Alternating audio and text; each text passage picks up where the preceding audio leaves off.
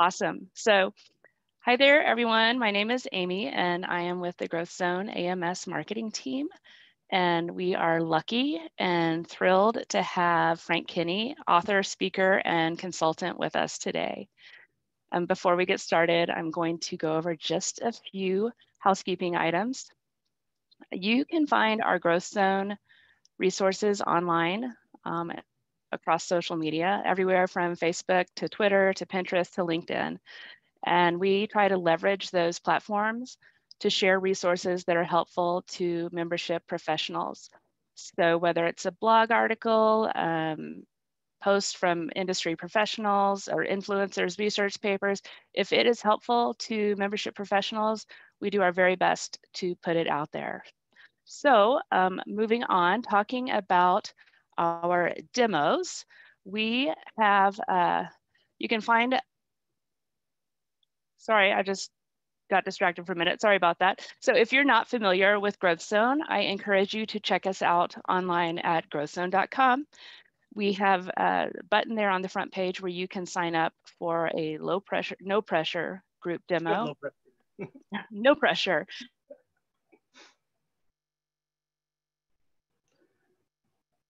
Oh, I, did we just lose Amy? How would I come back, Amy?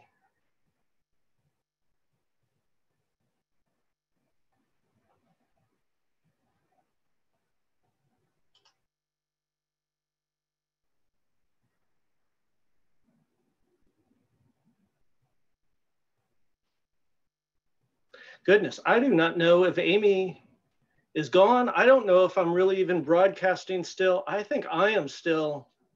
Here she comes. You're back.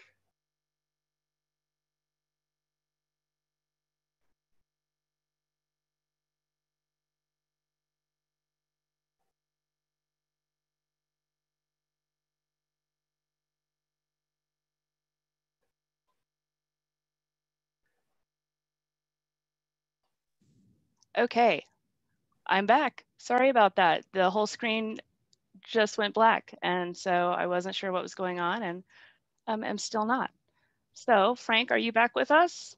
Can you hear me, Amy? I can hear you and see you. So that's excellent news. And I can still okay. see your screen. So okay. um, sorry, everybody, we're still here. So again, feel free to go to growthzone.com and sign up for a no pressure group demo. Um, the webinar is being recorded. So no matter if people attend or not, they will receive the recording via the email address that they use to register. You should expect that in your inbox, hopefully here in the next 24 hours is usually when it hits. Uh, it will include a link to the slide deck and a link to the full recording.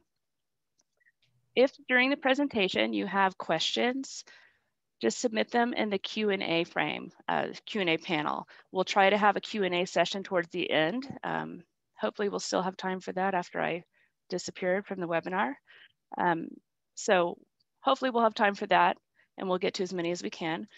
The chat panel, which is separate from the Q&A section, is great for discussions between attendees. We've seen a lot of cool things go back and forth uh, with people sharing ideas and information.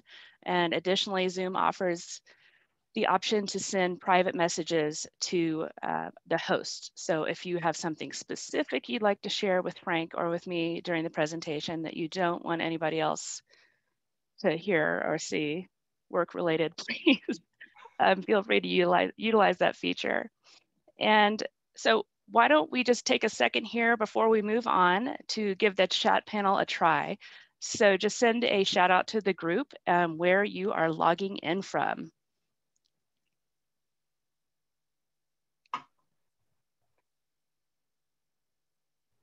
As usual, all over the place. It just keeps going and going. So welcome everyone. We're glad that you can, oh, it's just going crazy. So that's awesome. Okay, so I'm gonna just about hand it over here. I wanna tell you a little bit about Frank. Um, he is an internationally recognized author, speaker, and consultant. He is the founder of the Chamber Focus Show and Chamber Professionals Community Group on Facebook. And if you're not familiar with that group, it's definitely worth checking out, and I'm sure he'll talk to you about it. Um, over the past 10 years, he has helped hundreds, probably thousands of chambers reach their goals with training and planning, board retreats, social media marketing, all those type of things. We here have worked with Frank for years, probably longer than 10 years, I would guess. Um, and he has always proven to be one of our most popular presenters. And we are honored to have him here with us again today. And so I am going to hand it over to Frank Kenny. Thank you so much, Amy. And Amy, if anything glitches, come back on the screen because I really, all I have is my PowerPoint. So I will, I will. All right. Well, welcome everybody. Thank you so much, uh, ChamberMaster GrowthZone for uh, hosting this today. Uh, let's talk uh, automated member recruitment and retention. Uh, before we totally jump into this, let me do a quick little self-introduction. Uh, I used to be, I still am, but it's a different business, a small business owner, and I was very involved and active in our local Chamber of Commerce. Uh, so that's my background. I uh, was a member and then on committees and then on the board, then elected chairman of the board. And right then our CEO of the chamber quit.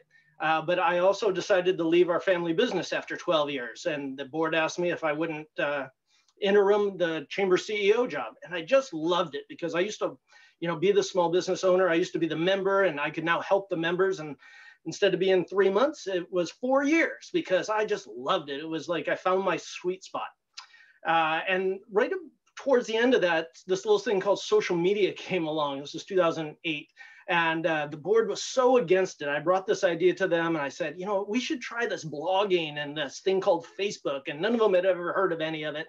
Uh, and so they were adamantly against it. They, they were just, uh, it was like, you'll just waste your time and it's a fad and all these negative type of things. And I, I really thought the board was going to shoot it down.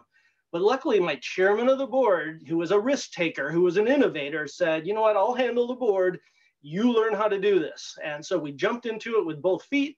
And within 18 months, we doubled the size of that 45 year old chamber. And this was 2008 is that recession, the, the recession of 2008. All the chambers around us were declining. Most of the chambers around the country were struggling, but we had doubled the membership. And so I started getting offers to, would you come speak at our state conference? Would you come train and, you know, various things? And it just opened up doors for me to, about 10 years ago to teach this stuff full time. And that, so that's what I've done. It's, um, full time on the road for the last 10 years, helping chambers and associations with social media, digital marketing, marketing automation, technology. Uh, so I've worked all over the United States and Canada, worked over in Africa. I've written three books on the topic. I'm a faculty of the US Chamber Institute program. Anybody part of the IOM program, you can put that in the chat area. That would be fun.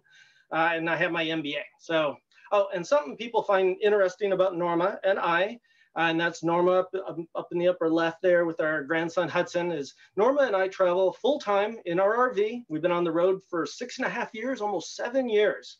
And we just go chamber to chamber, association to association, and we just travel full time, sold the house, and we're just on the road. And we make our living by doing digital marketing. And so marketing automation, you can't do digital marketing without doing marketing automation. So this this pays our bills. So I I kind of I've learned uh, the hard way through trial and error over the last 10 years how to make all this stuff work. Uh, so, oh, and there's Cooper and Trixie on the bottom. We couldn't travel uh, like we did without our co-pilots. All right, so let's jump into this. Uh, why you should be using email marketing automation. There's a lot of marketing automations. The, the most effective is email marketing automation. The most, uh, the critical one is the email marketing automation. So that's what we're gonna talk about here today. Uh, and it leads to a lot of things, the most important being member recruitment and retention. So new members and retaining those members.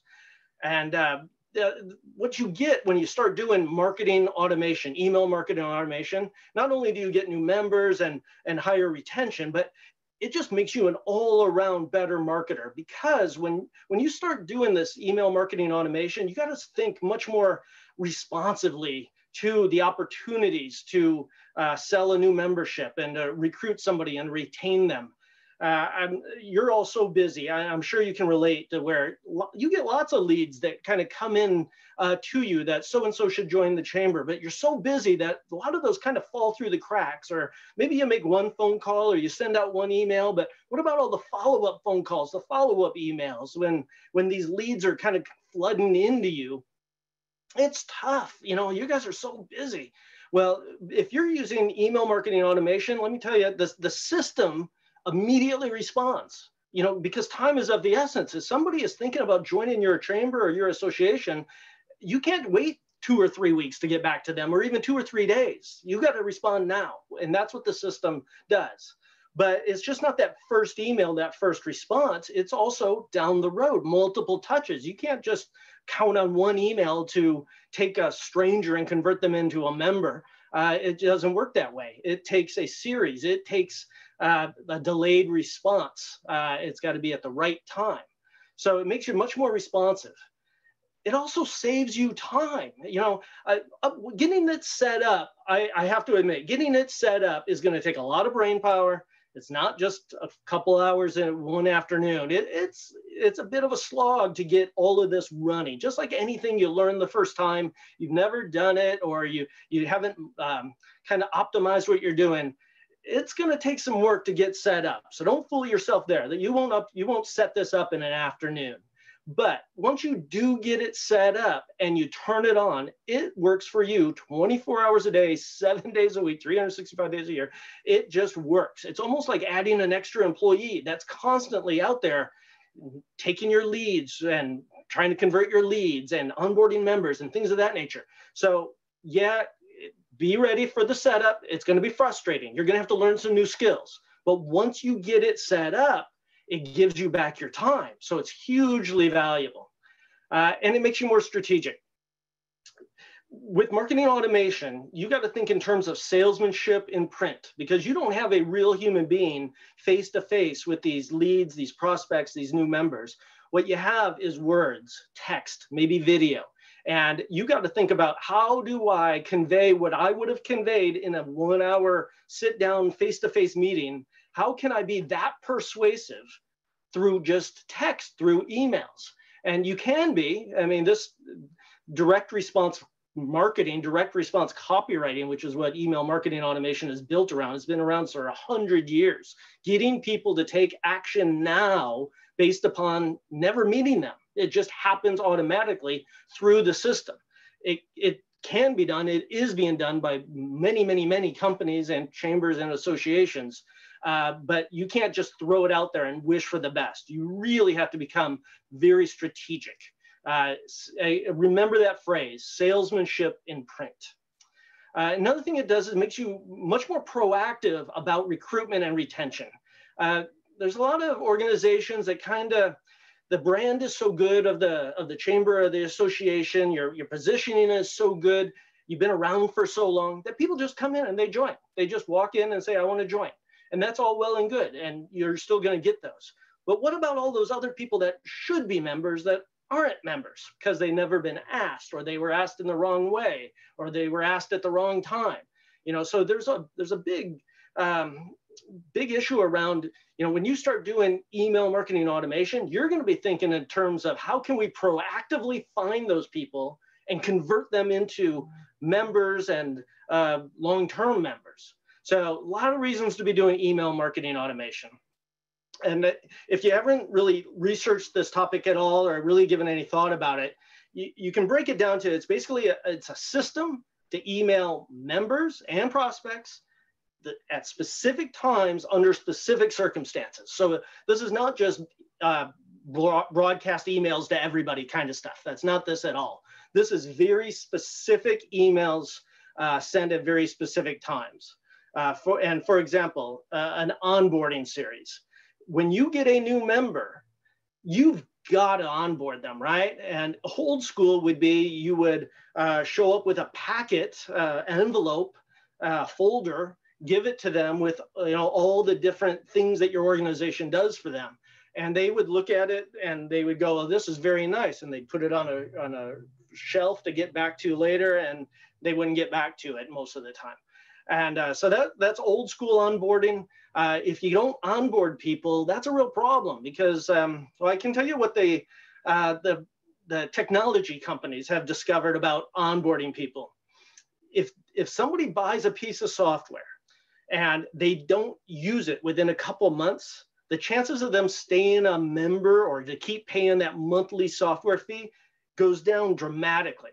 And it's the same in the chamber world and the association world. That first year member, retention wise, if they're not onboarded right, they only maybe 50% of them stay.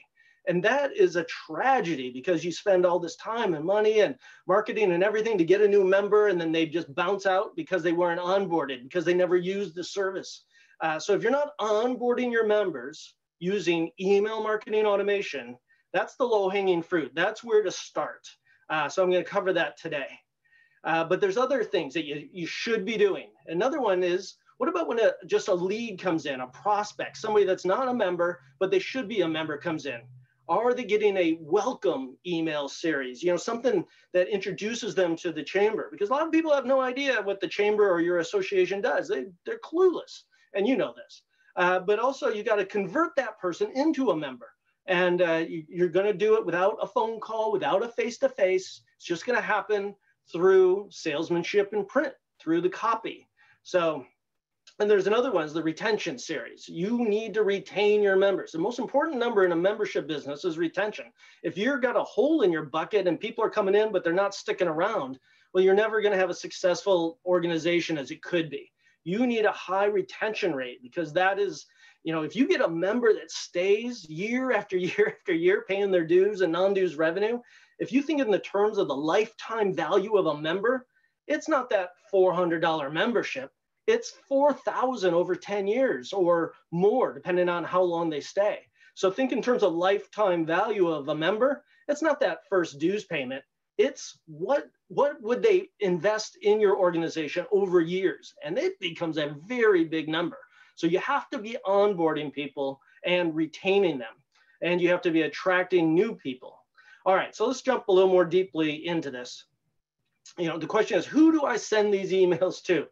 And you know, it's pretty straightforward, but when you get a new member, they get the onboarding series and they get the retention series. If you come across a prospect or a lead, and I'm going to show you here how to how to do this, well, those people uh, and get a uh, get a series, get a marketing email series. And so those are the two big pots that we're going to talk about here today. Uh, some other things that I just want to cover here because they might be on your mind is you know, what program are you currently using? Are you using Constant Contact? Are you using MailChimp? Are you using the GrowthZone uh, email marketing module? All of these will do this. Matter of fact, almost no matter what email service you're using, it comes with built-in email marketing automation. You just have to set it up. And I, and I got to tell you, it used to be a bear to set these things up. Very complicated and really hard to understand and wrap your mind around. And it's gotten so much easier. The user experience for setting up your email marketing automation systems is just, it's finally come around to where non-specialists for, you know, basically any organization should have these things set up. Uh, and now they all do it different though. I got to tell you, every system has their own way of doing this. So I'm not getting into the technology today of your individual system. You'll have to go with their customer service uh, if you you know if you get stumped. But they all do that. Uh, again, it's all about a series of emails, and it's again the copy or the salesmanship and print. The they all email marketing automation is about setting up these series of emails. Uh, and then something you got to do with these series of emails not only do you have to think about your unique circumstances and what messages you want to send because every organization is different. Don't look don't look for a template where you can just copy what some other chamber or some other association is saying. Every organization does theirs a little bit differently because you're trying to be real you're trying to be human they got to like you. And so it's got to be customized to you know your brand your community your industry uh, and then you got to set up what's going to be the timing of these. Uh, so, so there's a lot of decisions to be made. I'm going to give you some really good tips today, but I guarantee you that you know yours is going to look a little bit different. Uh, and you're also going to have to think in terms of your target market. You want to be reaching the right people, so the right niches. Uh, in the chamber world, it would be people like uh, people that are interested in networking and becoming known in the community. That'd be a niche. So that would they'd get one series, but somebody else might be interested in economic development. So they would be getting a different series. So you're going to have to start thinking in terms of who are our large segments, who are our prospects. uh, that we're going to reach and put into these series. The key is the right people, so the right target market, with the right message, the right copy, the right salesmanship and print at the right time, because timing is everything. And uh, I'm going to go through these series today as we go. And uh, I'll answer questions at the end. Amy is uh, collecting the questions. So uh, if you come across something where I haven't answered it, uh, make sure that Amy gets uh, your, your Q&A there and we'll cover it at the end.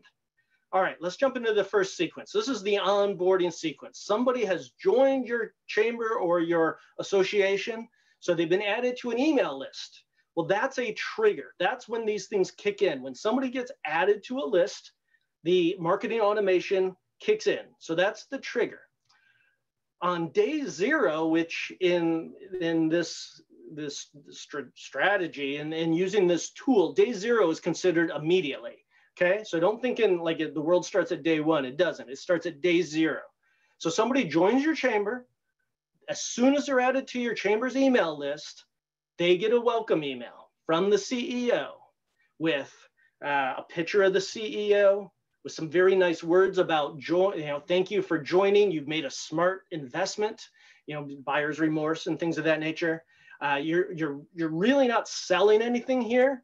You're just sincerely welcoming a new person into your family, into your chamber, into your association, into your tribe. And it comes directly from the CEO. And again, this is all pre-programmed, all set up. So you don't have to keep a spreadsheet. You don't have to try to figure out like who who's new today, who's who's who's been around for three days. It, this is all set up. Once you get it set up, it just works automatically.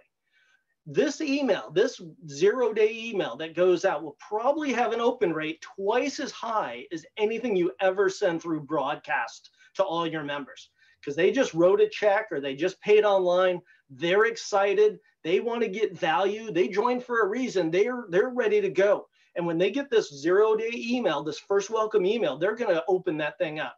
And so you'll see some of the highest open rates you've ever had. And so this email should be just entirely feel good uh, from the CEO uh, and, and promise that, you know, it's going to feel like Christmas because I'm going to send you more value. So be watching your email inbox. Let them know that you're going to be emailing them. Uh, the next day, the system sends out another email. And this one is, is more from the board of directors uh, and the chair of the board, where it shows pictures of who's on the board. You're trying to make somebody that really doesn't feel like they're part of your family yet, like they feel like an outsider, maybe. Maybe they feel like they're pushing their way in. Like if somebody comes to your networking events, a lot of times uh, they're looking around, they don't know anybody, they feel insecure, and they're kind of like, boy, I, boy, I'm, I'm not really sure this is where I belong. I feel like an outsider. Everybody knows everybody except me. Well, you got to overcome that. And you do that through this welcome email series. So the second one, again, from the chair of the board with pictures of the board members, reinforces their decision to, to join, uh, tells them how happy you are to have them in your, in your family, uh, but no hint of selling or anything like that. It's strictly you're onboarding them. You're trying to bring them into the fold and promise more value. Uh, because you know in the ps down at the bottom after you sign it and all this kind of stuff uh, ps watch for the the next email it's going to have some more value for you you know it's it's called a seinfeld sequence it's like a soap opera where it pulls you forward from episode to episode to episode uh, because you use that PS in there to promise more value or tell them, watch, watch your email inbox because something else is coming to you in a couple days. Uh, so on day three, send them another thing of value, uh, the calendar of events or an invitation to an attend an event. Uh, the key is you're trying to get them to take action, to use your services, to, to the worst thing in the world would be they join your organization and they don't do anything for months and months and months, and then they get an invoice to pay dues again. That's a killer. What you want them to be is they've already they've taken steps forward they are they're using the service just like a software company if you can get them using the software they'll stay maybe forever but if they don't use the software they're out it's the same with your membership organization you got to get them using it so send them the, an invite to attend something or to take a phone call or just something. Get them to engage with the organization. Always include a call to action on these. Uh, day seven, uh, send them their username and their password uh, to update the directory. And you know, a lot of a lot of organizations they'll send all of this in one email, and it, it's just overwhelming. It's flooding, and people will like look at it super long, and then they'll go, "Well, I'll read this later," but they don't. You know, they it just gets put into a box. Uh, so what you're doing is you're breaking up something that would be you could do in one, but it wouldn't work. But if you break it into into steps, then it's not so overwhelming. So about day seven, they're a week in. Get them to fill out their um, their profile directory. They're taking action. They're they're binding themselves to your organization. Day nine, uh, a reminder of the benefits that are open to them because it's overwhelming when you first join. It's kind of like I know I'm going to want this thing, um, but you guys do so much more than that. So it, it, at some point in the email sequence, about a week or two in, they need to see that boy, there's a lot of different value I can get from this organization. I'm really glad I joined. Uh, and then day 14, maybe you, uh, now you're just looking for engagement. You're looking for uh, to where they're not just reading your emails, uh, they're actually hitting reply to answer a question. And so it can be, you know, dear John or dear Sue, because you'll have that information. All the systems allow you to plug in personalized information. Uh, dear Sue, I'm, I'm really kind of curious about your thoughts on you know, what this Christmas will hold. Uh, just hit reply and let me know.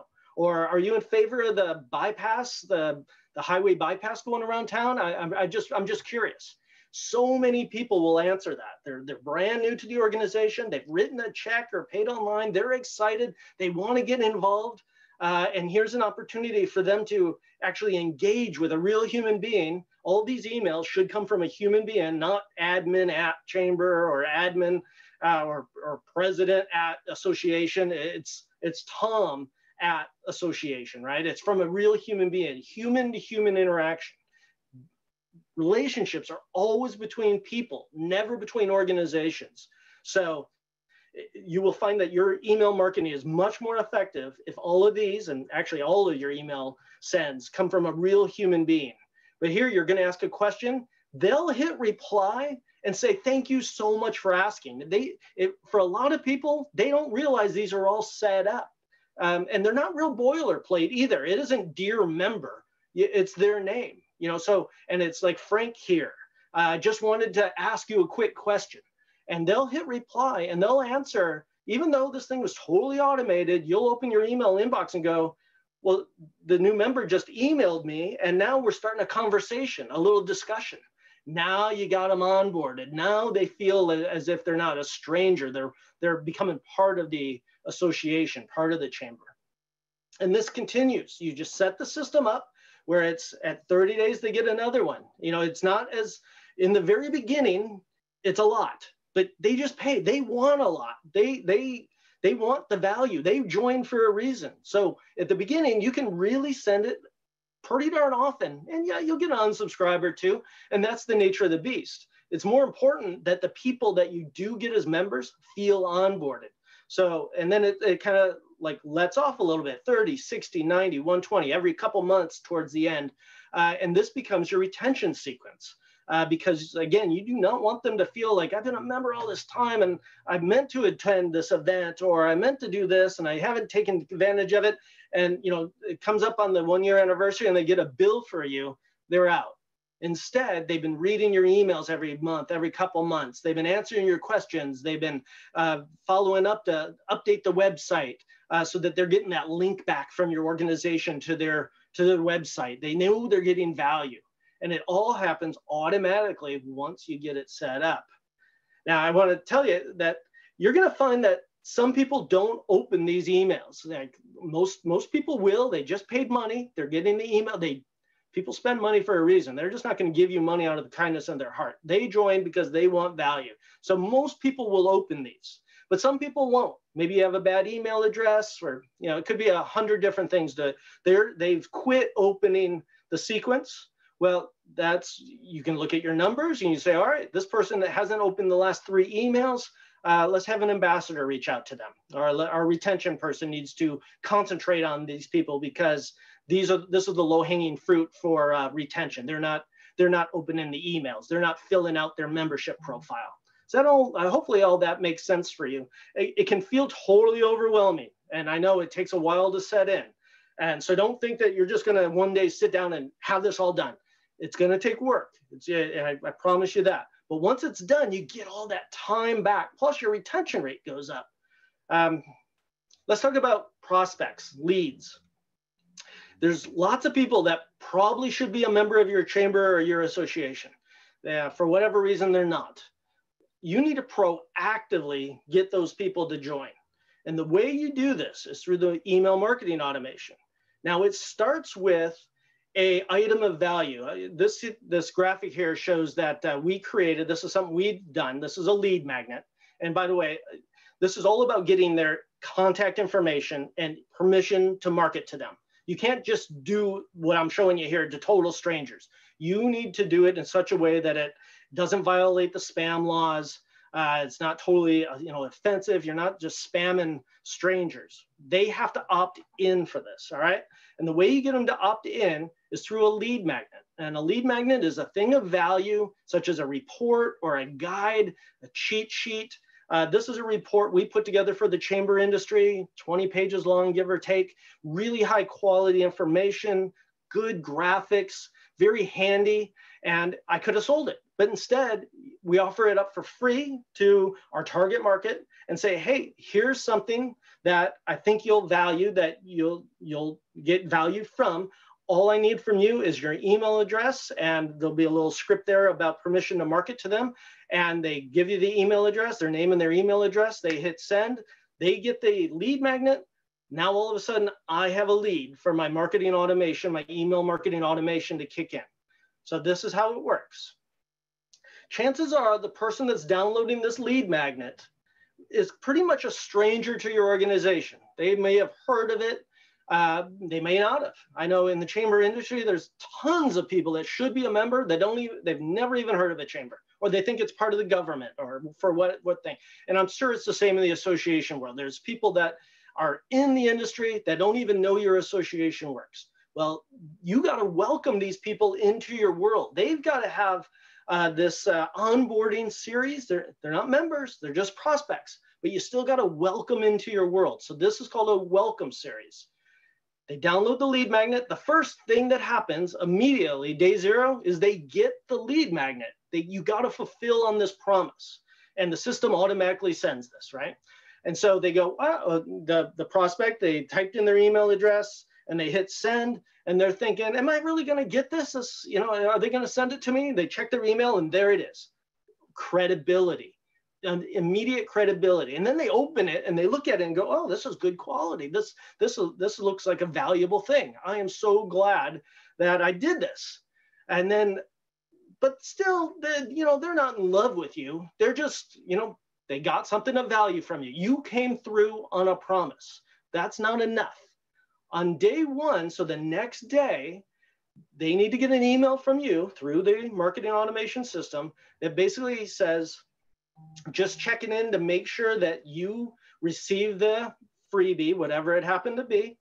And I wanted to share with you a little bit of a story on how we serve the industry or the community or whoever your prospect target market is and share a story, kind of like your backstory. What does your organization do for people? How do you help? How do you serve? Uh, if you've gone through the Simon Sinek uh, of your why, what's your why? Why does your organization exist? Tell it in a story so that you know it's not a marketing pitch at all. There's no hint of salesmanship in this. This is all about just introducing your organization to a prospect. Uh, and then, you know, so it's your story and what you do for them, uh, share your why, and then promise more value. Again, in the PS area, tell them like it's it's going to feel like Christmas around here because I have more for you. Let them know that you're going to email them again. And then on day three, deliver more value. Give them a tip, send them a calendar, send them another cheat sheet. A lot of these things can be based upon what they downloaded, what the lead magnet was. Again, if they downloaded a lead magnet on networking events or how to be a good networker, well, sending them the calendar to your local networking events they would love that. It's another gift. You're building reciprocity, you're building likability, you're building authority. And so all of these things, all these triggers are building up in the welcome series to where you're taking somebody that was a stranger to your organization. They they couldn't care less. You were out of mind, out of sight, out of mind, except for they saw on social media, social media posts that you created this freebie. They go, oh, I could use this. They give you their contact information. Then they get this onboarding series, and pretty soon they got kind of warm fuzzies for your organization. Uh, day five, usually these are uh, it's three emails after they get the lead magnet. So it's a four email series. The last one is deliver more value or tell an interesting story. So they're they're really kind of feeling like I, I really like this organization. They they're serving me. They want to see me successful. They're sending me free value, free content. It's all really good. And uh, so what you've done is you've taken a stranger, somebody that barely knew your organization, and now they know, like, and trust your organization. Or think of it another way is the, they were cold traffic. Know, uh, cold calling, you know about cold calling. You just call a stranger out of the blue and you try to sell them something incredibly hard to do, right? But then there's warm and hot traffic to where you call those people and you can get a sale pretty easy. And if you think about your own membership, I bet right now you could pick up a phone and call a longtime member. Maybe think of your best members, and you could raise a thousand dollars right now if you had to, even, even, even if you couldn't share what you need the thousand bucks for, you could probably raise a thousand bucks from a, a member or a few members in just a few minutes because you'd be calling warm and hot traffic. If you tried to raise a thousand bucks from absolute strangers, cold traffic, you'd, you'd spend all day and not make the thousand dollars. But you could do it in a couple phone calls when somebody becomes warm or hot traffic. And that's what their conversion, the, the welcome series does. It takes somebody from being a stranger to know, like, and trust, and now they're warm or even hot traffic. And now you can sell them. So that's when the conversion series uh, steps in. Now, this is going to sound a bit overwhelming, and I always get pushback on this, but I've been doing this a long time, and I got to tell you, this works. Concurrently with that welcome series, you're going to be sending out a conversion series. And I know you're at, at this point, you're got to be thinking that, wow, that's a lot of emails. They'll just unsubscribe. And you know what? Some people will definitely unsubscribe. And those probably people probably were not going to be members because you weren't speaking directly to their needs, their wants, their heart. Uh, you know, if you're trying to sell everybody under the sun and you worry about an unsubscribe here or there, then you're just not going to be able to do this because in the world we live in, people unsubscribe but you just got to let it go. When somebody's a good prospect to where you really can serve them, you can really help them, they're not going to unsubscribe. They're going to look forward to your emails because you're helping them, because they're getting value, right? Okay, so don't worry too much that if you get an unsubscribe because somebody, you know, or even if they message you back and you're emailing me too much, you know, take it in, you know, maybe you can like lessen up a little bit, you know, if you're getting a lot of those, maybe that's good data.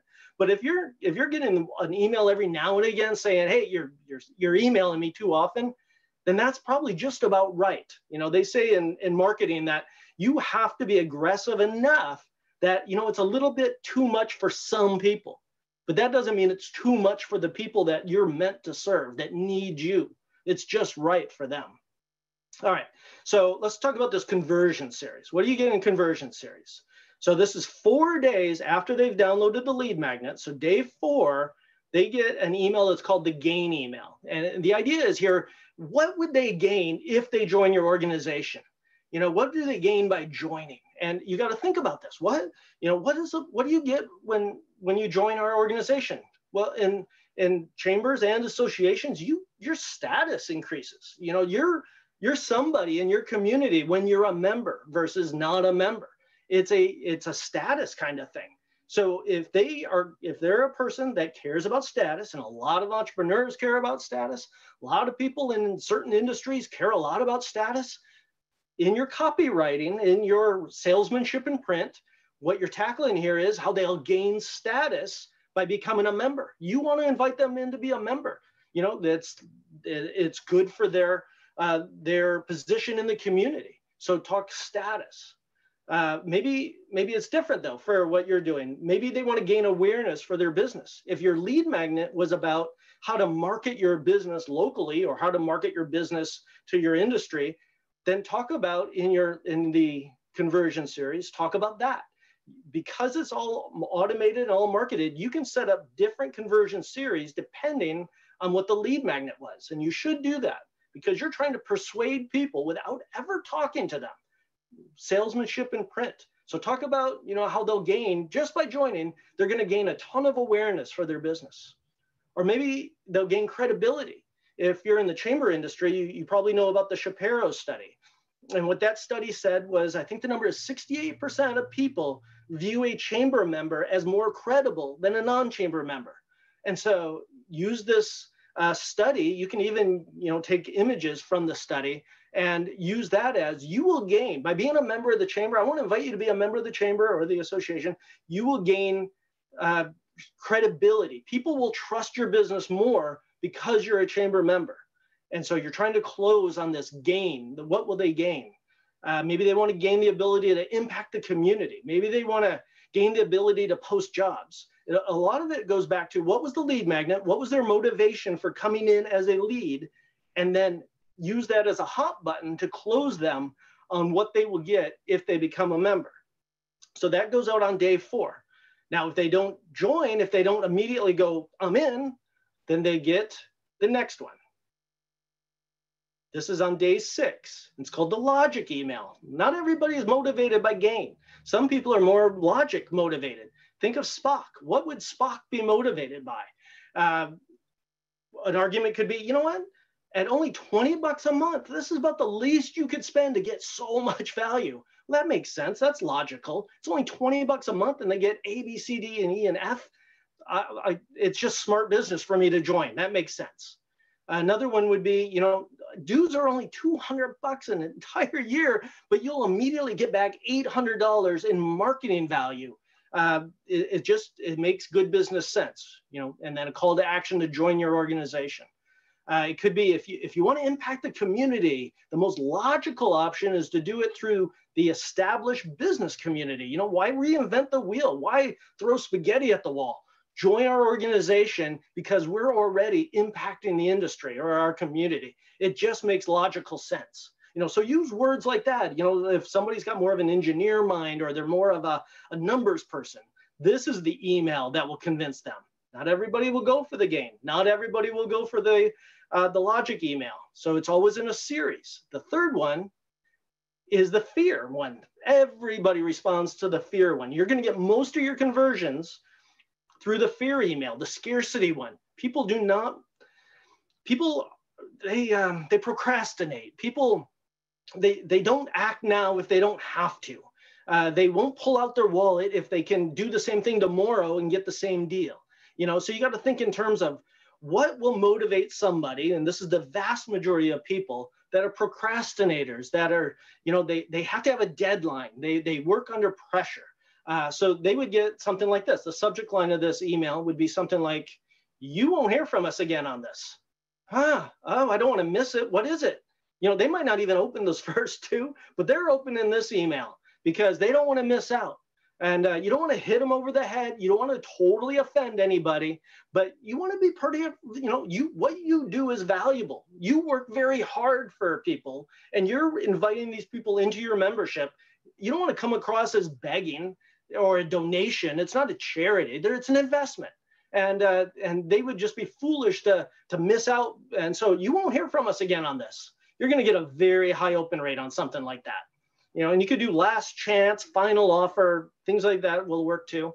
Uh, and then the copy can be things like this. We're, we're sorry, but the offer ends tonight at midnight. Uh, if you don't act now, you, we can't include you in the printed directory. I remember when I was running my Chamber of Commerce, the annual directory would come up and we'd be to the last maybe two to three weeks of editing and final count, you know, where it was getting down to the wire.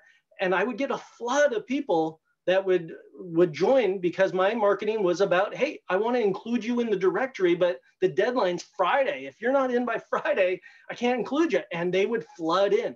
Scarcity um, procrastination. So uh, another one might be you know just a friendly note to let you know that the, the special for this month is ending so you won't get the bonuses you know join now people hate that when you know, I, I don't like it when organizations discount their membership very much. I think that sends the wrong message. but adding bonuses if they join now and then threatening to pull those bonuses if they don't act now, that is very motivating and that works. Uh, this is your last chance to register and get to attend the fall orientation. You know, it doesn't even have to be all that big of a deal. It, it just has to be something that makes them go, all right, i know I'm going to join. I don't want to miss out on this thing. Uh, give me my wallet because, uh, you know, I might as well join now because I don't want to, the fear of missing out, you know, very persuasive. You'll get most of your new members that close through your marketing automation on that third email. Now, I want to cover some things here that, um, that you might be thinking about. What if they join from email number two? Do they get email number three? No, no. The, the systems are smart enough to go, all right, they are now on the new member list. So they don't get any more of these conversion emails. They're, they're now going to be welcome. They're going to be onboarded. They're on the new list. So it used to be really complicated and hard to build these logic trees and make sure that people didn't get an email that they'd already purchased something and he's try to sell it again. And that makes you look unprofessional. Nowadays, it's just lickety split. If they join on email two, they're not going to get email number three. Uh, what if they don't join? You know, not everybody's going to join from these things. So what happens to them? Well, they go on your nurture list. You you don't just drop them as if they're dead you just put them on your monthly e-newsletter list or in some kind of way keep the relationship alive keep delivering value keep trying to build a human to human relationship nurture them until your next lead magnet comes out. A couple months down the road and i i, just, I recommend every two to three months uh, create a new lead magnet. You, you can't do these things weekly. You, it, it'll overwhelm you. Just do them every couple months. You're creating a new e, a new lead magnet and if this person downloads the new lead magnet, they start getting the conversion series. They don't get the welcome series because they've already been welcomed. That would feel kind of weird, but they're they're already on the the uh, nurture list, so they'll get the conversion series. And you will find that a lot of people that didn't buy that first time, they just didn't know know you well enough. They didn't trust you enough. Maybe the timing was bad, but come the next time, now it's time. Their life is different or they have more money or for whatever reason. Uh, I've got people, I have 18 or 19 lead magnets going at all times right now that I've built up over years. It took a long time to get there, but every day somebody downloads one of my lead magnets and I'll go and look and there'll be people that have downloaded 12, 15, 18 of my lead magnets over the years. And they're just now finally, that was the one that made them, all right, I'm gonna, I'm gonna join Frank's membership. And so you'll find the same thing. If you can get people that have downloaded five, six, seven of these over time, those people are so likely to join your organization. They're so deep into the funnel where they know, like, and trust you. It's just going to take the right timing, the right message, and boom, you'll open your email inbox in the morning, and there they'll be. And um, and those people stay as members too because they've downloaded value over time. Um, so I already covered this, so where they're not going to get the welcome series if they're already on your nurture list. Um, and the end result is what you're trying to do here is take people that are basically strangers before they download the lead magnet uh, to become friends to where they know, like, and trust to become members. And it's all done automatically through email marketing automation. So I just want to close here with some stats. Uh, uh, one company that offers these landing pages where your lead magnet would be on, where you collect the email address and this sort of stuff. It's called OptinMonster. There's tons of companies that do this for free. I happen to use ClickFunnels. If you want to look them up, they're not free, but it does all of this kind of stuff. You could do it through uh, GrowthZone. You could do it through um, MailChimp has it built in now.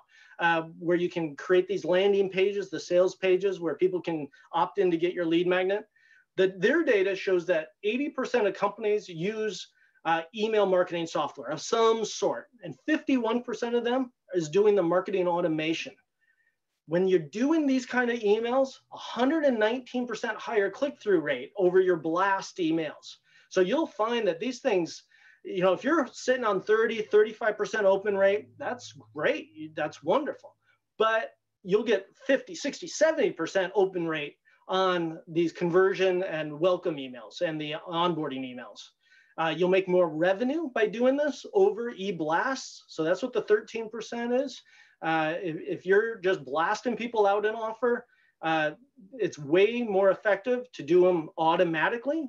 And then uh, the conversion rates, 60% uh, automated offers boost conversion 60% over non-timed emails with the same offer and a lot of that is just you're too scattered and and things are going on and just one email out of the blue and move on to their next thing just doesn't convert very well it's the series that's the secret sauce all right why don't we go to the q&a amy are you there to uh, feed me some questions I am here, and we have so many awesome questions. Um, I don't know. I know that a lot of people have a hard stop at, well, whatever your time zone is at the top of the hour.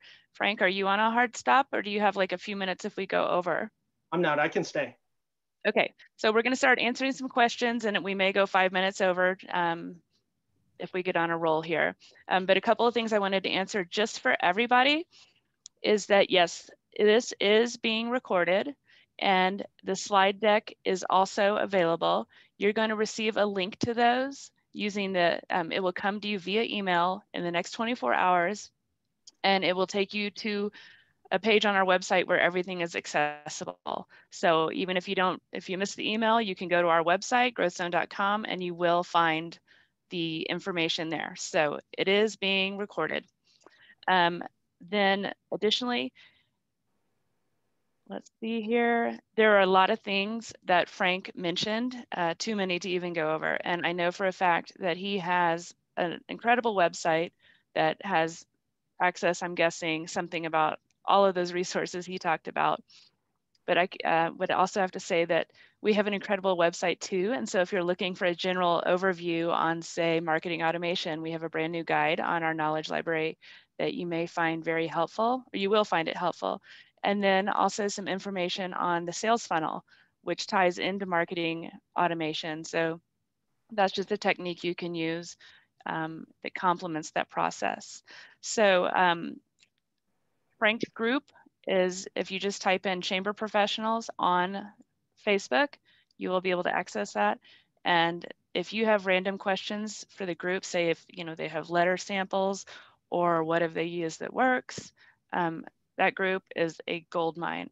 So, um, and then if you have questions specifically about GrowthZone and ChamberMaster and how those products work with marketing automation, and whether you're current customer considering it, please reach out because we have a great support team that can walk you through that. All right, so the questions, where to begin? And just knowing that we have a lot of them, Frank, proceed quickly if you think you can. Um, what do you what do you consider a good retention rate? Uh, in the chamber world, 90%. Um, association world might be a little bit lower, but and it, it, it depends on how fast you're growing. Like if your chamber or your association is growing like a rocket, your retention rate is going to be a little less. But if you're steady and you've been around for a while and uh, you're any lower than 90%, I, I would look into those numbers and find out why. Awesome. And I think I know the answer to this, but could you use marketing? Do you think an association or a chamber could use marketing automation to prospect for sponsors? Yeah, absolutely. Absolutely. Yeah. Same, same kind of idea, salesmanship in print and uh, give value first, give, give, give, and then ask. Um, and yeah, no problem. Yeah, I like that. Do you think that, or what would you say as far as, is there a difference in the sequence, whether it's the frequency or the type of things that you're doing for renewals versus onboarding or prospecting? Yeah, so uh, well, let's talk onboarding. Uh, they just wrote you a check. They're excited just like you're dating a new person, you want to see them every moment of the day as much as possible. So uh, be kind of aggressive those first three weeks, something like that. Every few days, they're getting value from you. Uh, but that needs to kind of peter off like a couple that's been married for 10 years. You can go a month or two without even talking, and it's fine. Um, we'll have a whole nother webinar on that. if you want to, you can reach out to Frank for more advice on that. I'm just, I'm just teasing, but you know, as uh, you know, you wouldn't do that 365 days a year. You, right. But but it's heavy at the beginning because you're onboarding them. You're you're bringing them into your world. Uh, but eventually, it's every 30 days and then every 60 days. Uh, but you don't want to go any longer than that because pretty soon the renewal's up, and you want them to feel like they've gotten recent reach outs. Perfect. There are, um, and these are questions that are, I guess, tough to answer, but we'd like you to weigh in on. What do you do with the, you know, you have a fear of email fatigue or people reporting you as junk and, um, you know, or maybe you're getting reported as, you know, considered spam. You'll, what would you suggest? What, what's your advice on that? Don't be terrible, terribly fearful of being marked as spam.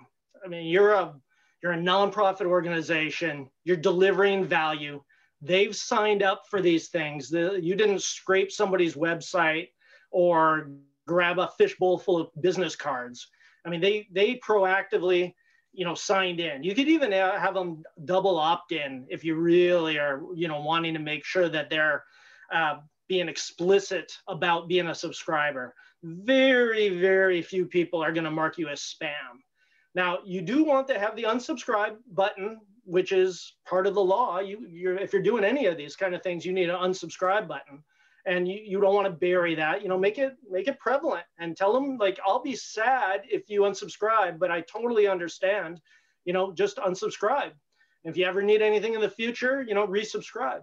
Um, you're going to get very, very little pushback uh, by people that you know that really um, should be members or are members. Uh, a lot of the systems also allow people to, if they hit the um, the unsubscribe button, it's going to ask them, do you want to unsubscribe from the newsletter, from the welcome series, from this, from that? Um, I, I know my system is set up that way, and some people will, they very rarely unsubscribe from the VIP list but they'll unsubscribe from the others, and that's fine. Oh, more and more questions are coming in. Okay. All right, so, which is good. And if you have the answer to this, um, I would really like to know. Um, how can you get, um, if you don't have somebody, how do you work with the lead magnet without an email address? Oh, you can't no, this is all about email marketing automation. I mean, if um, if somebody comes into your office and you want to print one out and hand it to them, fine, just to be nice. But it's all about collecting that email. The the gold standard in doing digital marketing, the core asset of people doing modern digital marketing is collecting that email address and permission to email people that email list is money in the bank. It is a, an asset like no other. That's what I thought, but I thought maybe you had a, a secret recipe. um, let's see here. So more of the questions. And I think you covered this a little bit, but I'm going to put it back out there. Do you have concerns or how do you avoid being too impersonal? Talk to one person. This is something that uh, Norma and I learned. Like when when we're doing writing an email, writing sales copy, shooting a video, we we think of one person, and we write it to her, and uh, it just makes it as if you're sitting on the other side of a table with somebody. Have fun with it. No big blocks of text. People don't read big blocks of text. It's one or two lines, lots of white spaces it should look like a mountaintop. Just copywriting strategies here. If you've never read a copywriting book, right, read Robert Bly, amazing copywriter. Uh, there, there's formulas for all, all of this that people have figured out over the last hundred years. How do you write persuasive copy? And uh, it, it, it, this will take a little bit of work. You know, you're you're going to have to read a book, read some websites, read some blog posts. All of this has been written about how to do it for years and years and years and years. Uh, don't don't just sit down with your own knowledge and pen out a big block of text and hope for the best. You got to be strategic on this stuff. Agreed. And we have some great blog posts on our website that uh, and a and a um, guide in our knowledge library that's called. Well, I don't remember off the top of my head what it's called, but it's fantastic. um, there's some questions that have kept coming in, and I really liked this one. Um, and I'm going to paraphrase it a touch. Should you or should you not be sending, and I guess this is assuming people haven't opted out, should you or should you not be sending event or other information to dropped members or what kind of information can or should you send to them or should you give up? Yeah, so your most likely future member will be a past member. So if you just think that people that are no longer members are dead to you, you're that's your lowest hanging fruit for somebody that will join again in the in the future. Because they could be mad at a staff person, they could be mad at a board member, they might have run into cash flow issues, could have been just some misunderstanding. Keep in touch with those people. Uh, I, you know, because you're so busy, I would at least just leave them on your regular monthly e-news that you send to uh, you know, your big list of prospects, at least keep them on there. Uh, if, if, you don't want to invite them to things because they're no longer a member or you don't have time to customize that with a member, non-member price. And, you know, I understand that you can't be all things to all people. There's just not enough time in the day. At least keep them on your e-news um, so that you stay, they, you're top of mind with them for when they're ready to join again. Awesome. So I misrepresented the lead magnet question, um, but I do still wish that you had an answer for that. But it was more so asking for ideas or of um, venues, you know, maybe it's or platforms to promote the lead magnet. So, you know, is it on your website? Is it, you know, what is it at a show? Well, shows are hard right now, but yeah. for so, getting the lead magnet, where where would you where can you use it? Yeah, so the, the, the prime area is social media. Uh, you post it to your, your association or chambers page, and then you spend a few dollars of your ad budget to promote that to people in your target market and you reach people that you know should be members reach people in certain zip codes reach people with certain interests that your chamber or your association serves, you know, that's the first thing I would do. If I only had one place that I could post it, it would be on the Facebook page, and then I'd pay to reach the people that would value it, would get value from it. But, you know, I'm also on LinkedIn, so it goes to LinkedIn. I'm also on Twitter, so it goes to Twitter. I'm also on Instagram, so it goes to Instagram. I have a website that gets pretty good traffic sent to it from Google and Bing and the other places. So it goes on my website. You, you even share it with your current members because like a member that's current might go, hey, this is interesting. They download that. It's okay if um, if current members are getting your your value out of the lead magnets. They won't get the welcome series and they won't get a conversion series because they're already members. Uh, but you just delivered more value to a current member. That's a great answer. And then the question, um, evidently I'm reading, I need to read better, but um, about renewals is not so much using um, whether you should, well, anyway, what kind of messaging sequ sequence should you use for people who just renewed? Yeah, so you want to keep which is great. that's good that's a good thing to do yeah, for sure. Yeah but it's not a welcome sequence. It's not an onboarding sequence. It's a nurturing sequence. So you just keep them on that every 30 days every 60 days uh, so that you know the organization stays top of mind. You're you're not asking for anything. Um, you're not pitching. You're just delivering more value and the idea is that if you can get somebody to be a member for three years, they're almost certainly going to stay a member until they go out of business, you know, basically. Uh, you got to get them through that three years. So that retention sequence, uh, if you can find the time to sit down and write it out for 36 months, do it. As far as uh, tiered memberships or people with different membership levels, different membership types, maybe it's corporate, maybe it's individual members. Um, you said, do you recommend setting up separate sequences for those?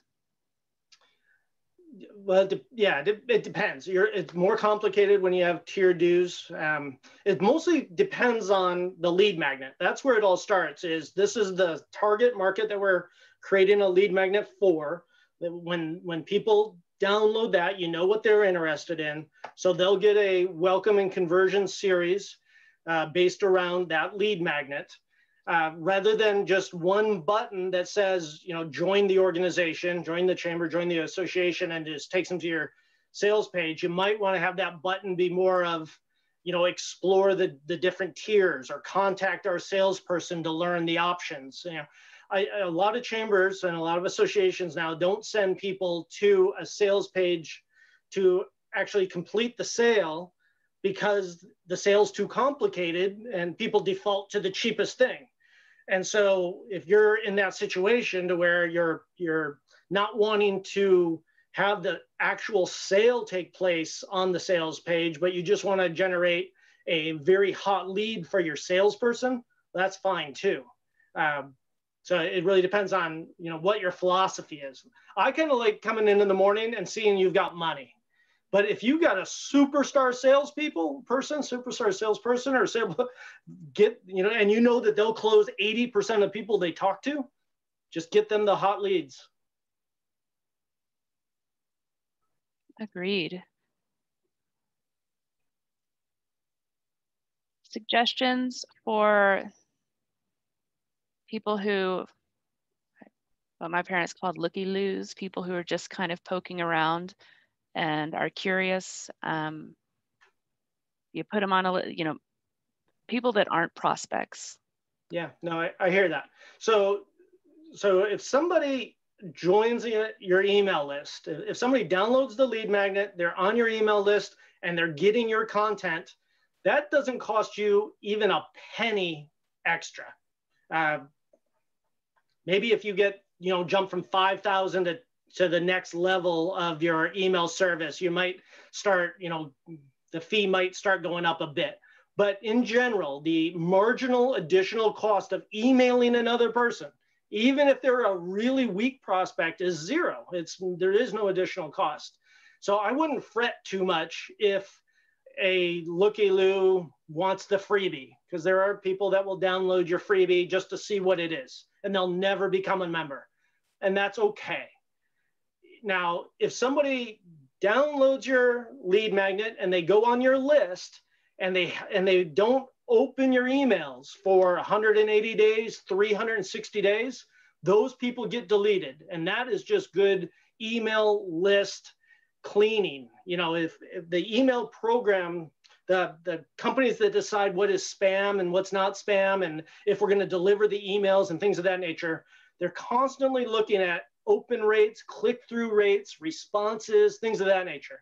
And so if your email list is full of people that haven't opened anything in the last year, that's actually hurting you a lot. So you want to do your list maintenance at least once a year and kind of purge out anybody that isn't at least opening your emails. Agreed. And that ties back into a little bit talking about how to avoid ending up in junk mail and getting people to open is that list maintenance. It's not the most fun project, but definitely worthwhile. And one person just weighed in on the answer Frank was just giving us is that even if the person's not a prospect, that they may be helping tell your story to their friends, that word of mouth marketing. So just if you're doing email marketing, it may not stop there. It might snowball into word of mouth marketing. So there is value. Um, we are kind of getting, I don't want to go too far over. Um, so let's see here. There was another one that I wanted to try to get to.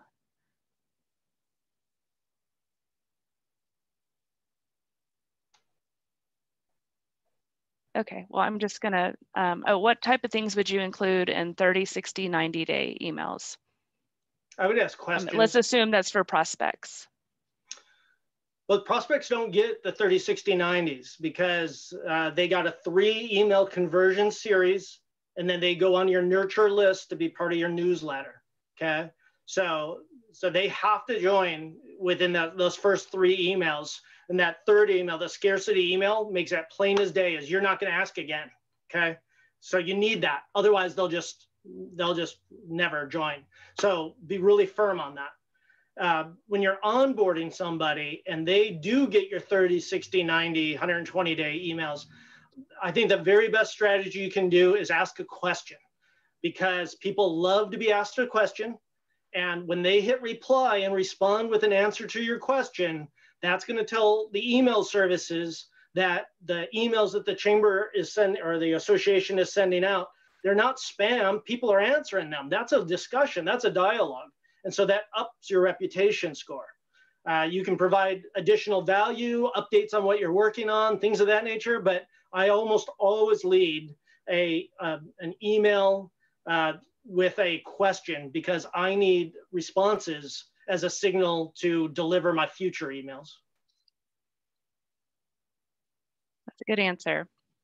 All right, so a couple of more things. Um, first of all, thank you, Frank. We are, again, so pleased and thrilled that you were able to join us. And um, everyone will receive a follow-up email next 24 hours to the email address that you used to register. Um, a couple of reminders just to help you all out. Remember, daylight savings time ends this weekend. Um, I was informed of that and reminded of that. And then um, my 15 year old let me know that it's also a full moon and Halloween, and that's calendar hot trick, hat trick. So uh, remember to set your clocks back. To learn more about GrowthZone software offerings, head to growthzone.com and have an online chat with our team. No pressure, sign up for a group or a one-on-one demo. If you have any specific questions about this webinar, reach out at marketing at growthzone.com. And thank you to everyone for taking the time to join us. You are busy and we appreciate you making room for us in your schedule. And um, I think that's about it. Frank, you have anything? No, I just want to thank everybody for being here. I appreciate it. I'll see you in the Facebook group. Uh, let me know if you watched it and if you got value. And if you have questions, I'll be answering them in there. And Amy, you can send me questions. Um, I'll answer them. And I okay. have a flood. Take yeah. care, everybody. We have a lot. All right, everyone, stay safe. Bye bye.